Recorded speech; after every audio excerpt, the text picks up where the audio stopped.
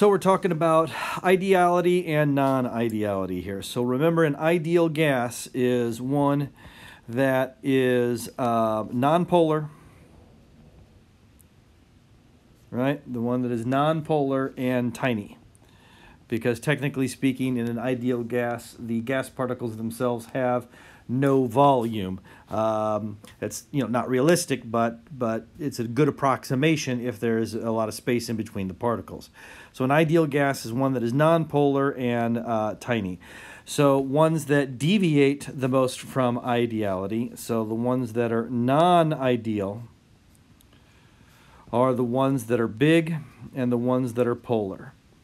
Ones that are big and polar are the non-ideal ones.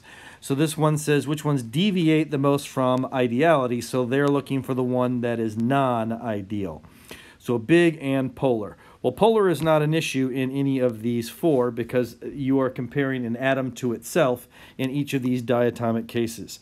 So for each of these cases, polarity is not a concern in this particular problem. So you're only looking for size.